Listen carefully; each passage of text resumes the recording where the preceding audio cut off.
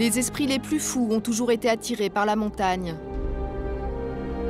Une nouvelle génération de trompe-la-mort a fait de ces lacets extrêmement pentus son terrain de jeu.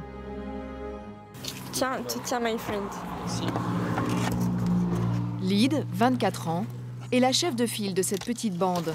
Ça, moi j'ai mon pull aussi. Chacun protège son corps comme il le peut. Les chocs peuvent être rudes, car ils vont dévaler la route à toute allure sur ces skates conçus pour aller le plus vite possible. Des longboards. C'est de la bonne peur. Ah oui, elle avait quand même un peu peur.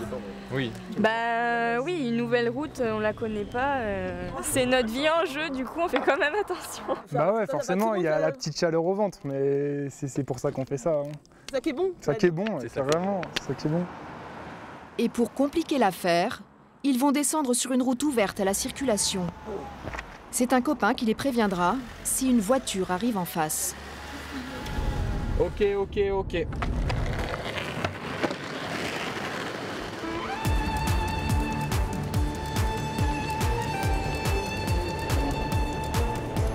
En quelques secondes, ils dépassent les 70 km/h.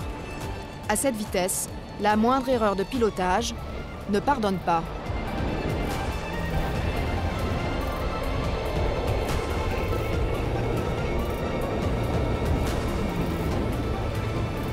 Deux voitures qui montent, 4x4 bleu, 206 grise.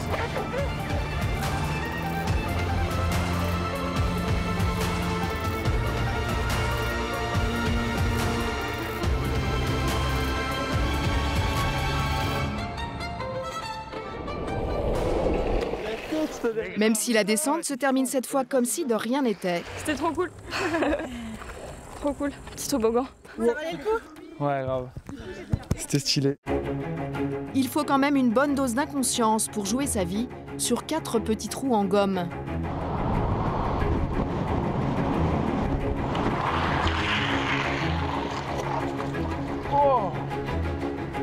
Grâce à ses dimensions jusqu'à 2 mètres de long et ses roues plus larges, le longboard est beaucoup plus stable qu'un skate traditionnel et permet d'atteindre des vitesses vertigineuses, plus de 140 km/h.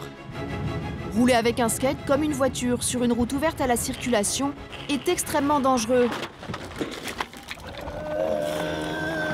En France, c'est même strictement interdit, mais rares sont ceux qui en tiennent compte. Impossible de savoir combien cette nouvelle discipline a fait de morts, mais les accidents sont légion. Malgré les risques, ce nouveau sport extrême attire de plus en plus d'adeptes, à tel point que même les publicitaires se sont emparés du phénomène. Pour vendre du parfum, des vêtements ou encore de la téléphonie.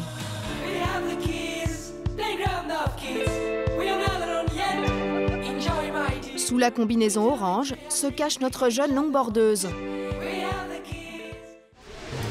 Lyd, 24 ans. Elle a été plusieurs fois championne de France de descente. Mais son sport, encore amateur, ne lui permet pas d'en vivre. Son salaire de contrôleuse de gestion ne suffit pas à couvrir toutes ses dépenses. Non mais c'est c'est sérieux. Sérieux Alors avant chaque compétition, avec Yanis, champion de France lui aussi, ils viennent chercher leur matériel dans cette boutique qui les sponsorise. Et est-ce que je pourrais voir les gants que t'as C'est pas stylé, il y a aucun style. Comment ça, ils sont gants, pas stylés. On s'en fout du style, c'est le confort qui compte. C'est le confort qui compte. Une économie sur le matériel bienvenue, comme sur les roues. Ils en brûlent une trentaine par compétition. À chaque fois, un budget de près de 500 euros. Voilà. Les roulements neufs. C'est comme en Formule 1, il faut avoir les, roues, faut avoir les roues neuves, les roues adaptées par rapport au temps, même à la température en vrai. Il faut avoir plusieurs types de roues, différentes duretés. C'est c'est complexe en fait un peu quand même les roues. Équipés comme des pilotes de Formule 1, Lyd et Yanis ont rejoint les meilleurs longboarders européens à 1500 mètres d'altitude, au hameau des Lins d'Arrêt, dans les Alpes. Euh, bah, c'est pour euh, se protéger euh, pour les chutes, pour pas qu'on se fasse de brûlure. La descente promet d'être périlleuse. Aujourd'hui, ils vont pouvoir rouler encore plus vite que d'habitude. Car pour éviter les sorties de route comme celle-ci, la voie est fermée à la circulation et les virages les plus dangereux sont sécurisés.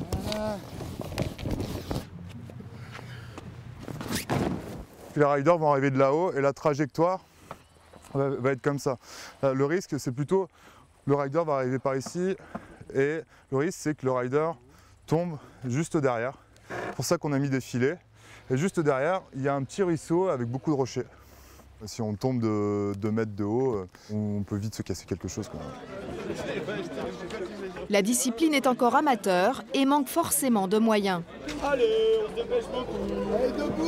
Pour monter à la ligne de départ, 3 km plus haut, ce ne sont pas des bus, mais des camions qui ont été loués pour l'occasion. Bah, on fait en sorte de tous rentrer dans trois camions. Et pour le reste de la troupe, c'est le système D. Avant chaque descente, Lyd échauffe son corps meurtri par de nombreuses chutes. Je me suis cassé le talon en deux morceaux et euh, déboîté cette épaule cinq fois, donc c'est bien de l'échauffer un petit peu. Là, il y a une petite appréhension quand même. Quand c'est la première descente, qu'on est tout en mode spot. L'objectif là, c'est d'aller le plus vite possible, se faire plaisir, ensemble. être proche et s'éclater quoi. Et puis de pousser un peu les filles, histoire de les pousser dans leur retranchement et dépasser un peu leurs limites. On n'a pas le choix, faut avancer plus vite. C'est ça. Du coup, Les garçons pèsent plus lourd et vont naturellement plus vite. Pour ne pas se laisser distancer, les filles doivent se montrer plus techniques dans les virages.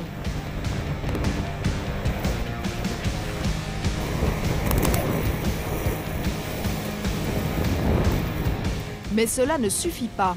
Un écart se creuse. Les filles prennent tous les risques pour les rattraper. Et à cette vitesse, ça ne pardonne pas.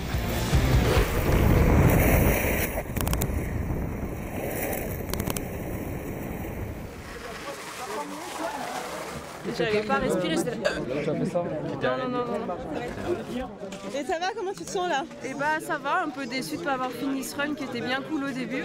J'ai juste eu peur en fait, mais ça, va. Cette fois plus de peur que de mal, toute la journée les trompes la mort vont enchaîner les descentes.